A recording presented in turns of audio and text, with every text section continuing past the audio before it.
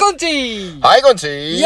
今回はですね、はいはいはい。バトロワ豆知識5選ということで、こちらの方でね、やっていきたいと思います。おい。まあ、今回はね、COD モバイルの方でお話しさせていただくんですけども、バトロワの方でね、豆知識、まあ、結構ね、被らないように、僕らなりにね、考えた内容になりますんで、まあ、過去の動画とはね、被ってないんですけど、まあ、知ってる方もね、多い内容になる可能性はあるんで、まあ、それはね、ちょっとご了承くださいということで、まあ、知らなければね、ぜひ、高評価の方を押していただけるとね、僕らの励みになりますんで、よろしくお願いしますということで、はい。僕らのチャンネルではね、検証系の動画を中心に年内登録者数3000人目指してますんで、チャンネル登録まだの方はぜひ登録していただいて、他の動画も見てくださいということで、はい。それでは行きましょううーん、レッツゴー。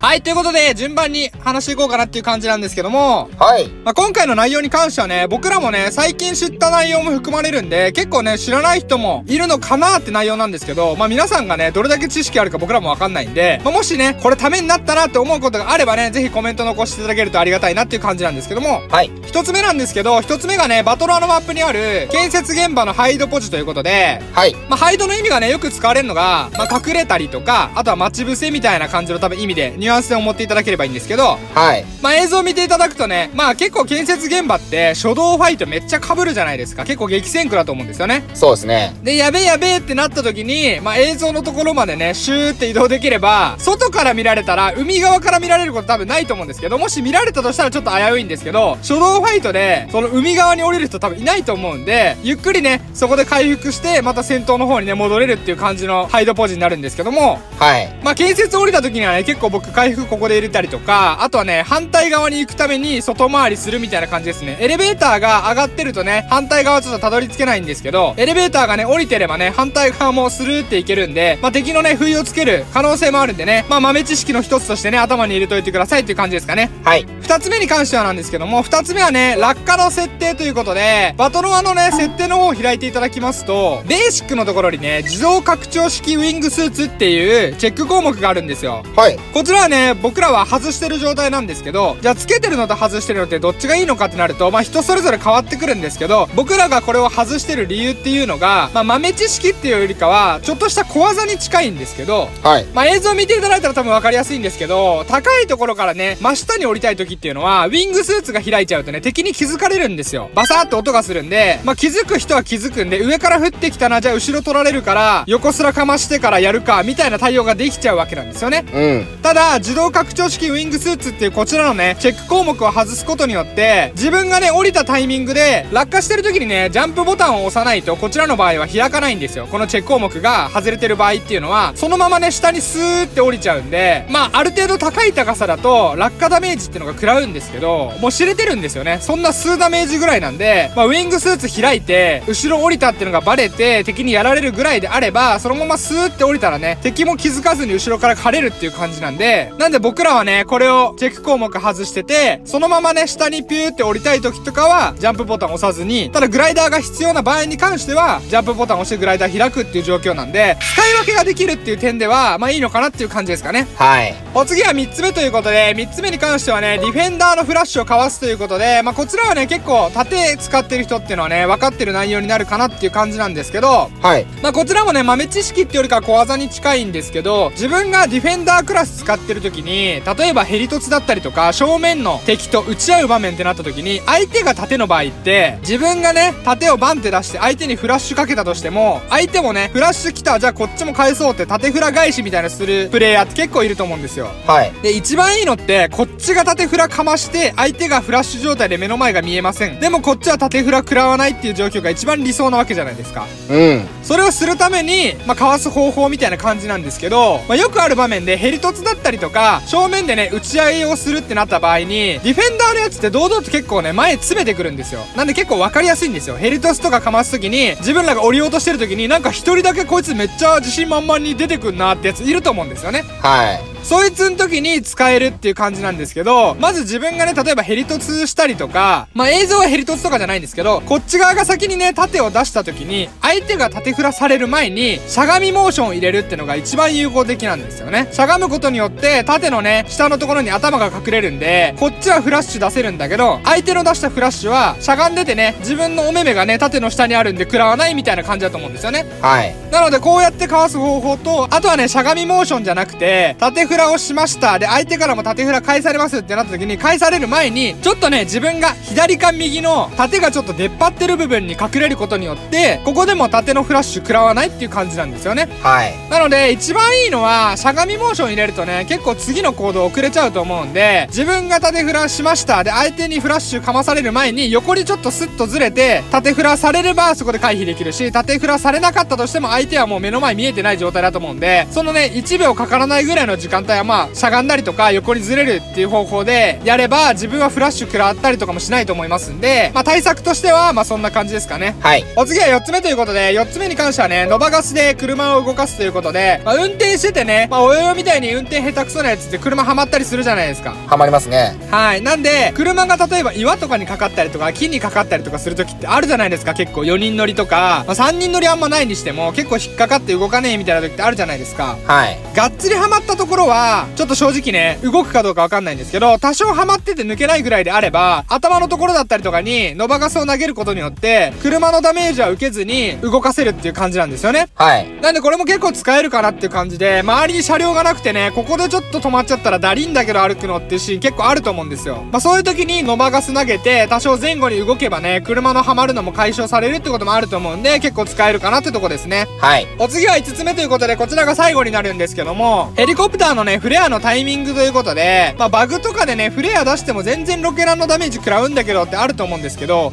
FHJ とかで撃たれてね、ヘリコプターってのは2発で壊れちゃうわけじゃないですか。はい。それの対処法として、フレアって機能がヘリコプターにはついてると思うんですけど、そのタイミングで結構難しいじゃないですか。FHJ がフレアが出て出切った時に撃つっていうなんかちょっとやらしいやつもいるわけで、そのタイミングを理解するためにじゃあどうするかっていうと、ヘリコプター乗ってて、赤色のゲージが出てきた時に敵はロックオンしてて撃ってる状態なんですよ。ロックしてる状態はずっと黄色だと思うんですよね。うん。で、相手が FHJ を撃ちましたってなった瞬間にヘリの表示が赤色になるんで、そのタイミングでフレアを焚くと、FHJ のロケットのダメージを防げるっていう感じなんですよ。はい。なんでこれに関しては僕らも最近知ってね、これすげえなって感じなんですけど、結構ヘリのタイミングね、フレアのタイミングずらされて撃たれて、結局乗り捨てなきゃいけないって状況結構あったと思うんで、まあこちらに関しては結構使える情報かなっていう感じなんですけど、はい。まあある程度離れてるところっていうのは、赤色がついてね、フレア焚けば多分間に合うんですけど、めっちゃ近くの場合って多分ね、間に合わない可能性あるんで、まあちょっとそこもね、難しいところではあるんですけど、とりあえずはね、赤色がついて、フレア焚くって覚えていただければいいのかなっていうところですかね。はい。ということで、いかがだったでしょうか？バトロア豆知識5選ということで、まあちょっと小技も含めっていう感じになっちゃったんですけど、まあぜひね、野良の方で使っていただいたら結構使える内容になれると思いますんで、ぜひ皆さん、こちらを参考に使ってみてくださいっていう感じですかね。はい。で、背景でね、流れてる野良スクワット動画、結構ね、設定したキルムーブになりますんで、ぜひね、最後までご覧くださいということで。はい。それでは野良スクワット動画、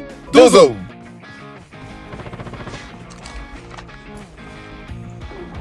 プレイヤー、レアだ。削ったアーマー割れかけ。オッ.ケー。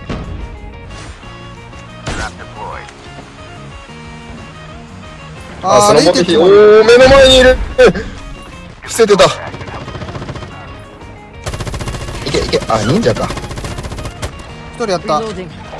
まず味方が一人やったかなあれ、家の裏にあいつがいる。あ、レイテック撃たれてるわ。Engaging Nero, Nero. enemies. Changing mag. Supply box here. Enemy eliminated. これ味方スモーク違う。あ、そうかも、そうかも。タグ蘇生してるこの人。してない。持ってるだけ。Enemy down. ボブ周りさ回してくれた。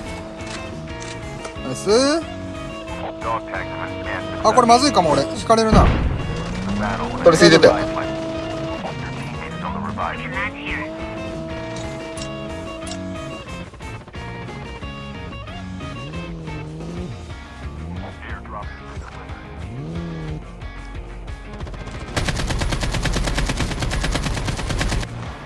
一人やったナイス。あと一人。おおおおおおおお。右も気になるなあヘリ飛ぶわオッケー。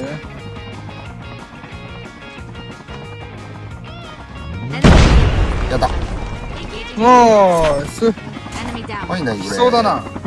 来そうだな、これ。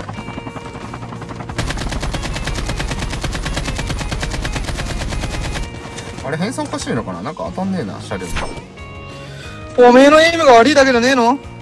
いやわかんないなんかスーって全部抜けちゃう弾嘘。回線の問題かな？かもしれんペペーシャがいます。プレイヤーです。アンチで死んじゃいました。格殺 Nice. done for. おじさんがやりましたね。もらいましたスナイパーがいるようで。お味方のあれが反応してるよトラマスかかったぞ、後ろ。絶対間に合わんやん。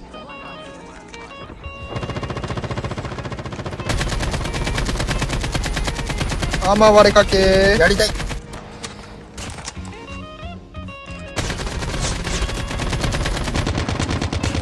よしよしよしよしいいよオッケー、後ろやったよ。ナイスおじさんそれやった？やったよんオッケー。あと下だな。そこの。砂。そうだねスナイパーさん。どこにいらっしゃるのかな？すぐ見つけてやるからだな絶対あそこの家だろ。まああそこだわな。うん。え、ね、突したろうかな、もあいたいたいた。う。え？Here.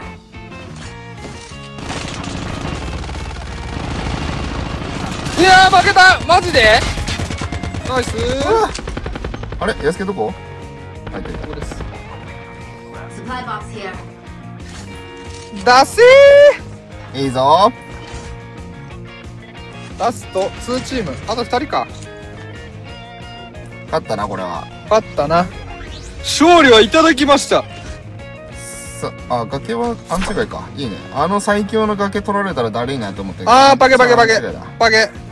あーげーパケ走ってます。人しか見えねえんだけど。一人しか見えないね。ほら、クラスター地獄だぞ。お兄さん。あー、奥逃げるしかないね。あー、どんどん行っちゃうね。アンチガイだぜそっちは。はいナイスカッあと一人はプレイヤーか？ト上だはーいカットはーい、ナイス GG! GG safe and sound.